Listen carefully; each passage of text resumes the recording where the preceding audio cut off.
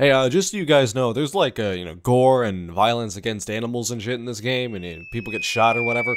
So if that's a problem, holy shit, an anvil. Hunt Showdown, the first game brave enough to expose just how fucking awful it is to live in the American South. Welcome to beautiful and muggy Louisiana, a state so depleted and depressing outside of New Orleans that it was the primary inspiration for the Fallout series of post-apocalyptic walking forward games. Hunt Showdown realistically depicts the state as a zombie-infested wasteland full of scum-ridden stillwater swamps and cutthroat bandits all vying for the supremacy of a pork processing plant. That's you. And it's fucking awesome. Hunt Showdown is an oasis of interesting gameplay in a landscape filled with slow, aim-down sights assault rifle masturbation simulators. It's not a super fast arena shooter, sadly. In fact, it's extremely slow, and still has many of the mechanics that make up the vast majority of currently existing shooters. Aim-down sights, inaccurate hipfire, sprinting, the works. But it has a few unique differentiators that make it extremely fun to play for me. However, I'm only going to tell you about one of them so that I can make multiple videos.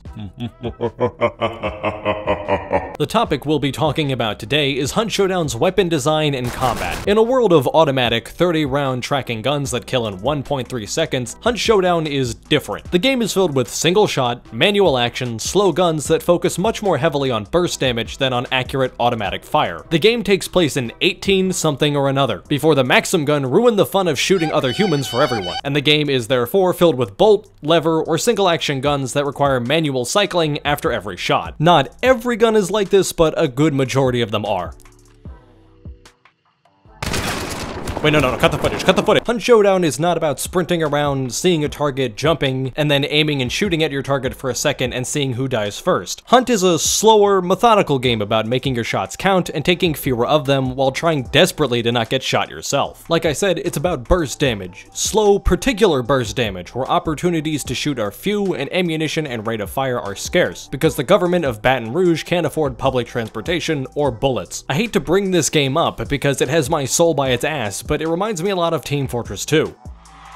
Alright, that's enough. A game where most characters focus on weapons that have low magazine sizes and are single-shot, semi-automatic Semi-automatic. guns that have to reload a lot. Much like Hunt, Team Fortress 2 is based around taking individual shots and making sure you hit them, since you only have four or six or so to take, resulting in a kind of shooting that is relatively unique. There's less tracking, and each shot has to do something, creating a more twitchy style of shooting that requires more prediction, and paying attention to what your opponent can do as well as what they are doing. Especially in Hunt's case, because this game takes this concept to the next level by making guns even slower and by making them deal insane amounts of damage for a good hit. Almost any gun in the game can two-shot to the body within a certain range. Tracking weapons like you'll find in almost any shooter these days just aren't the same. They're still very skillful, and in faster games like Slime Rancher, my favorite guns are the trackers like the lightning gun, but they're more blunt. You simply see the enemy and fire where they are. It's a very simple approach to shooting. If you drop the track for a bit, you're usually fine because your weapon is often designed to have a lot of ammunition and allow for momentary lapses in aim. Hunt in Team Fortress 2, for the most part, however, are more about being aware with what your enemy is doing and will do. Tracking is still technically the best way to shoot, that's why all the hackers do it, but your brain, when you're actually playing the game, makes those decisions in the moment, meaning you have to be able to decipher how your opponent is going to move, often right as they do it. If you don't, you'll miss your chance and have to cycle a new round. By making every gun the product of unpaid child labor coated in greasy mud, Hunt carries this same kind of gameplay into a battle royale free-for-all setting. Everything is extremely dangerous, and shooting matters a lot, cause you can't do as much of it, cause each gun requires you to fuck around with a metal lever somewhere to fire again. You can't miss as much, because every gun can kill in one to three shots, and that includes you, and ammunition is often in short supply, and reloading takes fucking forever.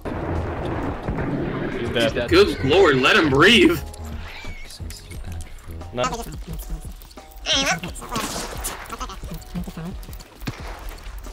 Not- Yeah, I'll, I'll let you tap in in like a half hour when the mag's done. This all combines to make Hunt an extremely tense, high-skill game where aim and movement are paramount skills, but so are positioning, ammo conservation, reload timing, and utilization of your utility items to give you an advantage over the enemy. A lot of games do all of this, of course, position and usage of your tools is a part of almost every shooter on Earth, but Hunt executes this much like how the McDonald's Corporation executed JFK for eating at a Burger King one time in 1961. Hunt makes everything more exciting and more punishing because of its very high damage and huge opportunities for return fire if you miss. Almost every gun within a certain kind of medium range can one-shot with a headshot, which is often the range that you'll be fighting within. And obviously since weapons are slow and take a long time to cycle compared to other games, it gives your opponent big chances to return fire if you happen to give them any room to breathe. It makes shooting and hunt not just unique, but extremely hardcore. You often end up positioning, firing a shot, and then repositioning immediately, or trying to switch to another gun at the expense of your own safety to finish off a kill. Gone are the days of just sitting still while shooting at every enemy because you have like 40 bullets and it takes 9 to kill someone, so you just mag dump every enemy like they just admitted to having a beer in the car. You often find yourself making serious decisions about how long you remain in one position in Hunt, because one shot can be the deciding factor in a fight. You will frequently ask yourself what to do after taking a shot. Do you want to reposition, get a better angle, make yourself safer by sitting in a new spot the enemy doesn't know as much about? Or be aggressive, try to pull out your sidearm, approach the enemy and go for a kill? Did you get a hit? Do you need to heal? Do you need to deal with poison or bleeding? Do you need to hit your vape because it's been 4 minutes and you're seeing demons? These are important moment-to-moment -moment decisions you need to make in Hunt. The high damage of the game, almost universally for all guns except for this German piece of shit, make it so hiding is insanely important in Hunt. You can't move fast, even though moving your head is still a big deal, but much of your defense is not dodging bullets, but avoiding being seen altogether. This is also what makes the aiming in Hunt important. Hunt divides players into different sections, torso, legs, arms, groin, specifically the left nut or clitoris depending on your character, and head. As I said earlier, many weapons kill in two shots to the body, but not two shots to anywhere else except for the head.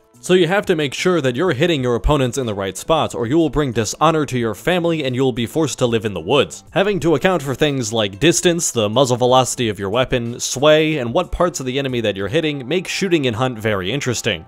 Positioning in Hunt is extremely important because the best ways to avoid being shot is either to put stuff in between you and the shooter, like a nice plump senator, or to not be seen at all. Movement helps, but you're often too slow for it to really save you in a bind. You don't want to be like this guy. It's this way. Very close. Down! Being out in the open is simply not going to work out for you like it might in other games. You simply don't have the health or the speed to compensate for how dangerous it is and how easy it becomes for your opponents to just shoot you. You're going to spend lots of time behind cover if you wish to not get shot. This causes the cycle of decision making in Hunt. Try to position yourself for a good shot, then decide where you want to be to follow up based on the situation, while also deciding what to do with your new position. Because guns are so slow, you almost take turns with your opponent to shoot. You fire, then because you can't shoot while you cycle, they fire and so on. But unlike real turn-based games, I don't fall asleep playing Hunt because my off turns are spent avoiding bullets, utilizing my items, and analyzing the situation me and my enemies are in. This makes every action a serious choice, since it could leave you vulnerable, or allow you to swing a fight back in your favor. You're you're never really out of the fight in Hunt unless your last man is down or the Lich has returned and demands your soul. There is always a hypothetical world where you simply headshot three enemies in a row and take the entire fight regardless of how much health you have. Sort of like Valorant or CSGO. You simply can just aim better than the enemy, no matter how hard it is to actually pull off. This in turn makes it so Hunt almost plays like a weird multiplayer stealth game where the element of surprise and being able to take down one enemy with one shot before another squad even knows what's going on is always the preferred opening. Stealth is the real deal in Hunt. If your enemies don't know where you are, you have all the more opportunity to strike while they can't retaliate. At least until you're right on top of somebody because you positioned yourself very well and then you aim literally right on their fucking head but because Finnish people don't know how computers work all your shots miss. Hunt takes this stealth very seriously. There are a huge number of different things that make loud noises which can betray your position if you're not slowly crouch walking through them. You'll have to avoid things like dangling chains, breakable twigs, crashed UFOs, and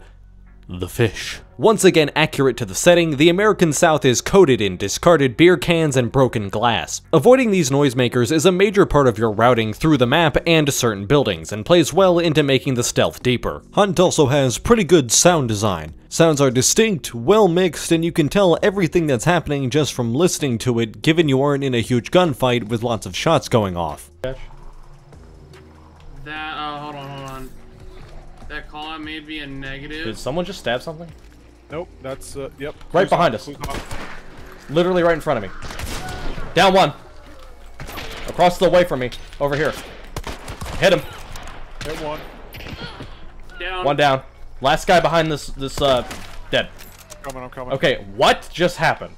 Normally I don't talk about sound design, but given how important sound is to Hunt Showdown, I think it's important. You can pretty much always understand the game state through sound alone, and many items in the game, as stated, create a lot of noise, which can be used to identify an enemy or disguise your own sounds. It's an important part of any balanced breakfast, and it's done well here, which is good. There's also a lot of red herrings in Hunt. Zombies, for example, can pass through or interact with various noisemakers exactly as players do. Some enemies have sounds that sound vaguely like other objects if you're not paying attention, and sometimes the game just makes noises to try to scare you. Basically, it's a constant game of who can see what, a cat and mouse chase around compounds, and good old fashioned aiming. It's great. Now all of this aside, we have an important question to ask ourselves. What theme do you guys think I should go for for my new novelty restaurant? I'm thinking either r slash D&D or the Underground Railroad. But yes, the weapons, those things we always talk about on YouTube. I mean, those are what make Hunt Hunt, right? Well, yes, that's true, you little bottom feeders. If Hunt didn't have the weapons it has, it would just be a game about punching zombies with knives, and frankly, you're just not gonna beat Dead Rising 2 at that. And that's sad because Dead Rising 2 didn't even beat Dead Rising 1. Weapons in Hunt are the bread and butter of the game. Without them, we would have nothing to obsessively critique the realism of in our game about shooting mutant zombie spiders. Again, as a whole, weapon design in Hunt has a few key features that make it interesting and fun to interact with. Slow cycle rates and slow reloads mainly contribute to making it so every shot counts, and accuracy is paramount. It creates these tense moments of vulnerability and makes the game fun. You live or die by the sword in Hunt, and the sword is a Winchester, and sometimes it's a sword. There are quite a few weapons in the game, and they have mostly subtle differences, with some having very defining unique strengths and weaknesses. What ammo a weapon uses, its magazine capacity, its sight picture, picture, how much damage it does to a passing door dasher, the available special ammo you can load into it. These are some of the things that define weapons in Hunt, and there are a multitude of factors that give each weapon its identity. For example, let's analyze the major differences between the Winfield lever action and the Lebel 1886 bolt action rifle. Alright, so first off, Wait, did you just tab me out so that you could look at porn? What the fuck? The Winfield uses compact ammo, which has limited material penetration and damage at range, versus the Lebel, which uses long ammo and has extremely high effective range and very good penetration. The Winfield, by virtue of using compact ammo, shares an ammo type with many different sidearms, allowing you to double up on ammo and increase your reserves and how much you get from looted ammunition boxes. Most pistols use compact ammo, so the Lebel, by comparison, can only share ammo with these three pistols and no more more. The Winfield also just starts off with more reserve ammo, so it's less reliant on keeping a same type sidearm. The Lebel only comes with 5 additional shots, which isn't even a full magazine, meaning you're going to have to find a lot of ammo, or you're going to have to take one of those three pistols to increase your reserves. The Lebel only has two variants. Uh, weapons in Hunt have variants, some with scopes or bayonets, stuff like that, and the Lebel only has three variants, a melee damage variant, a sort of DMR variant, and then a proper scoped marksman variant. The Winfield, by comparison, has far more variants, being one of the most versatile weapons in the entire game. If you need it done, the Winfield can do it, and cheaply. At a distance, the Winfield also has a unique noise when fired.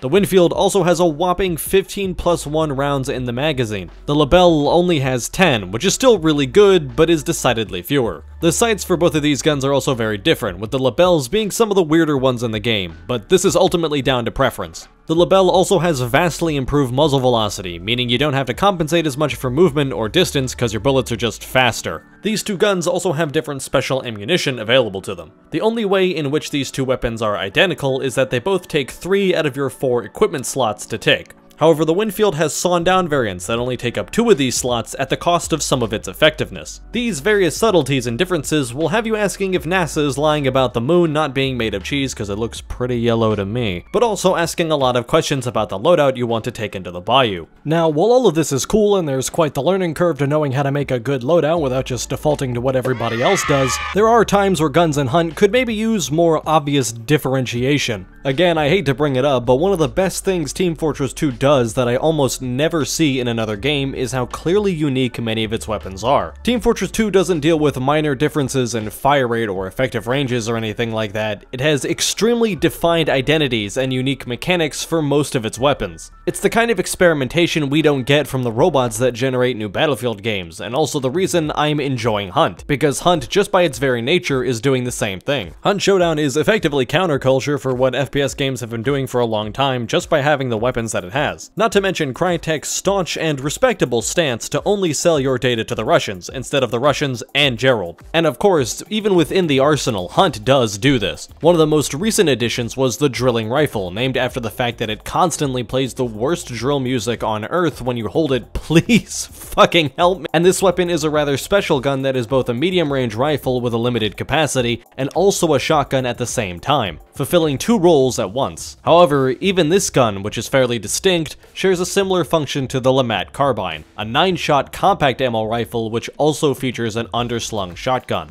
So while these are very different, there's a lot of times where a Gun and Hunt has an analog that, in many ways, can be kind of the same thing once you get into the practicality of it. Many guns in this game kill in two shots, like I said, and to a degree, it can be easy to just use whatever gun, cause it's about as good as a few other guns especially when many of your fights happen at a closer range. Now that being said, Guns and Hunt Showdown are like Far Cry games, there's often enough differences to make them feel like they play very differently, even if they basically don't in practice. And that is a huge deal. There's just enough to separate guns to make many of them feel like you want them for whatever specific reason, even if the situations where that reason would be good don't really come up in a match. This is something I never really loved about Apex. Every gun in Apex outside of the major weapon types was kinda the same, especially the SMGs and assault rifles. Obviously in a game like that, where weapons are found randomly and not purchased or equipped beforehand, guns have to be balanced. You can't give certain teams an advantage just because, except for all of the advantages they give just because, but Apex took this almost too far and eventually got to the point where new guns were almost outright better than, or were nearly identical to, existing ones. Like when the car released and was theoretically just better than the R99 by a tiny little pubic hair, or when the flatline was nerfed and remains basically interchangeable with the R301. Some guns still kinda stood out in design, but not by much, and many of these guns weren't necessarily desirable. It's an unfortunate phenomenon, but an understandable one. Sadly, in my time with Apex, it never really got over this or the cigarettes, and they just stopped adding new weapons, and the last two they added were designed around gimmicks, before they realized they can make more money by turning the game into an online teenage fashion store instead.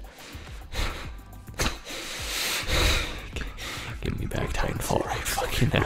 Holy shit, they listen! Hunt, luckily, is not like this. The ability to purchase guns for in-game currency means that guns can be wildly unbalanced and often are. And while that sounds like a bad thing, to a degree it's not. Games only need to be balanced enough. There is such a thing as too balanced, and luckily Hunt hasn't reached that point. With as many small differentiators as weapons have, it makes it so that most guns at least have enough to trick you into thinking that your favorite streamer loves you and just you, and also that guns are substantially different when, in the heat of the moment, you may not even see some of the benefits you chose a weapon for. It's between a situational illusion and a situational reality. There are differences, they do matter, but you might not really feel them in a game except for maybe magazine capacity, effective range, and damage depending on what happens. Guns are situationally different, and there's a lot of cases where those situations just don't come up. Except for shotguns, they fucking suck. Still, it's far better than 10 different assault rifles that are all basically the same gun, except for some very minor differences with one clear winner. The universal strength of the weapons does serve one very positive purpose though, making it so that even the cheapest of loadouts or guns only available to new players can still be effective. This of course won't solve flooding caused by climate change, but it does make it so that even your otherwise unremarkable Winfields and Vetterlis can still put up a great great fight. It also means that even at your poorest, you can probably afford a meaningful weapon, and your friends who are newer to the game can also do something extremely effective just by hitting an enemy. Finally, let's talk about PvE. Hunt has a major PvE component. PvE enemies function not just as something to do while you walk around a dilapidated moonshine distillery, but also serve as traps to try and get you to betray your position.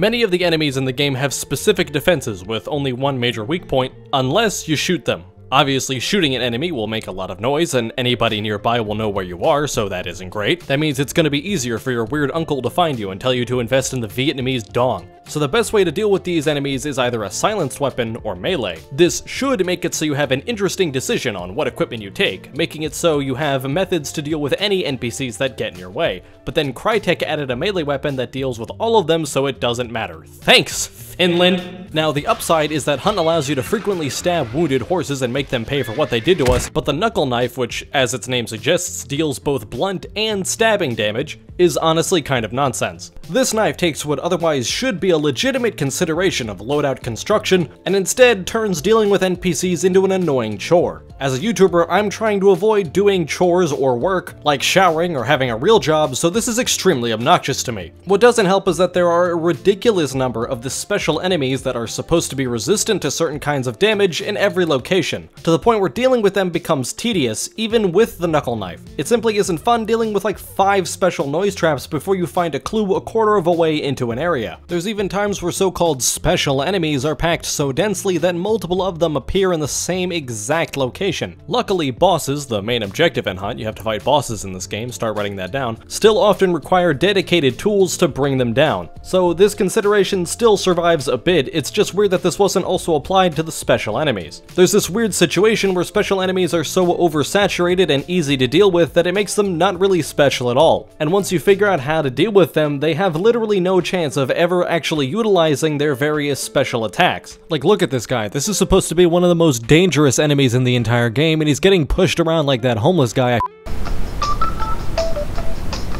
because they're so numerous and so trivial, the few times where they do actually matter, it feels incredibly annoying. Now, I don't think that enemies should become incredibly powerful or anything, and if they did, they would have to be avoidable, but I do think that they should be more significant and less numerous. Having to traverse a location with an actually important enemy somewhere around it is far more interesting than just having to smack through five trivial enemies that can be killed in one shot. I should know I worked at a daycare for three years. Now, there is one elephant in the room. Oh fuck, there's two, run. Let's talk about the major problems that Hunt has just for the sake of transparency. Even though I didn't make this game, and I don't benefit from it financially or really at all, so it doesn't matter if I'm transparent. First off, Hunt Showdown is extremely frustrating. It's effectively a battle royale slash extraction shooter, whatever, where you could die in just one hit. It's a very annoying game. Hunt is very punishing, it leaves very little room for mistakes. This is what makes it interesting for me personally, because the game is so punishing, I constantly have to improve and adapt. If you lost, there's always something you could have done a little bit better, which is a lot of fun. But also, as a consequence, there are going to be times where stuff is just frustrating, especially in the moment. So if you plan on playing the game, I recommend you make some friends. Now obviously, considering it's all of you guys, you're going to also want to watch my guide on how to make friends. Another major problem with Hunt is map geometry. For the most part, navigating the map is fine, and there's no issues. However, because this is a Crytek game, and Crytek needs to make all of their games look as good as possible, regardless of what it costs, the geometry in Hunt Showdown is extremely complex, and with it comes a lot of weirdness. I'm not sure if it's something to do with the shape of the player's actual collision, or something to do with the tick rate or whatever, but for some reason you will bound around like a fucking bouncy ball in this game if you happen to enter into certain areas that you're not supposed to or can't fit in. There's a lot of instances where geometry looks like something you should be able to just walk on, but because it's too thin, or it's shaped kinda weirdly, your character will slide around or bounce off of them. It's extremely annoying, and personally I would much rather have a worse looking game if it meant that the surfaces that I could walk on would at least allow me to consistently walk on them, or if what I could or could not stand on was more clearly defined. Now this does mean that there's a lot of interesting little spots that you can take up, but also when you're in a fight it's incredibly annoying to try to take a position and then to just slide right off of it. In a game where one shot can be the deciding factor in an entire match, Losing to stupid bullshit like this is incredibly frustrating. Like, this game is hard enough, it doesn't need you rubber banding off of a rock. Now, aside from this and the fact that the moon will scream at you if you look at it, the map is pretty good. This is, however, a relatively problematic issue. It won't happen all of the time. Many of the compounds and the routes that you're going to take are designed in a way where what you should be walking on is relatively safe, but times where this weirdness does happen are just a really big eye roller. I'm sliding off this roof for no reason.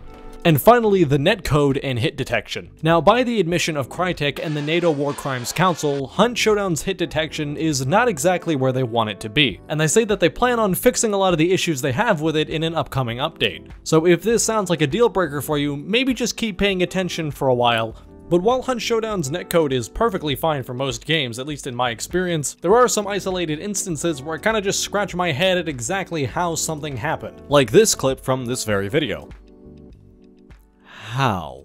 And of course, there are some other smaller issues. The performance on PC is not always amazing, even if you have a really powerful rig, the price of the game is way too high, and the matchmaking is not necessarily bad, but it is questionable. But this is stuff that's a problem in a lot of games, sadly. And aside from this, that's really it. But it is really fun in a way that forces you to genuinely slow down. You need to learn patience, tact, consideration for your loadout and your approach, and what to do when shit hits the fan. Sit back, eat some grass, relax a little while keeping a highly paranoid vigilance over every bush and rock because your enemies or a dream fangirl could be behind any of them. Hunt is a game of spikes. There's lulls of relatively calm routing and NPC killing, and then massively intense shootouts with other players. But ultimately, is Hunt Showdown worth playing? Yes, in my opinion. It's intense, it's gripping, it's fun. If you enjoy slower, more punishing games or goopy foot jobs, you'll love Hunt Showdown. That being said, I certainly wouldn't pay $40 for it unless $40 isn't much to you, so I would wait for a sale. But it does kick a lot of ass, and it's worth playing. But yeah, that's pretty much all for me. Thank you very much for watching. I know that this was a departure from our normal affair, but don't worry, there's still more Team Fortress 2 related stuff in the future. So as long as the bear doesn't get out, I will see you guys next time, and once again, thank you very much for watching. Peace!